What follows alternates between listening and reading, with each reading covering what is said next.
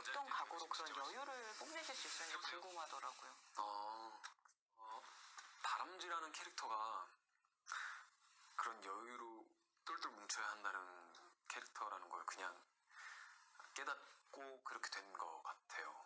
그리고 그 현장에서 선배님들께서 너무 이뻐해 주셨어요. 진짜로 우쭈쭈 해주시고 흔히 말하는 우리 애기 막내 애기 우쭈쭈를 되게 잘 해주시고 근데 너무 이뻐 해 주시니까 애교가 그냥 자연스럽게 나오게 되는 그런 현장이었던 것 같아요. 그래서 영화 통틀어서 7분 정도 나오게 되는데 싱글 작품도 굉장히 좋았고 그리고 감독님께서도 너무 이뻐해 주셔서 그러니까 사랑받아서 그런 것 같아요. 그, 그 현장에서 그 다람, 다람쥐란 캐릭터가 그래서 덕분에 저도 같이 사랑받는 느낌으로 잘 찍었죠.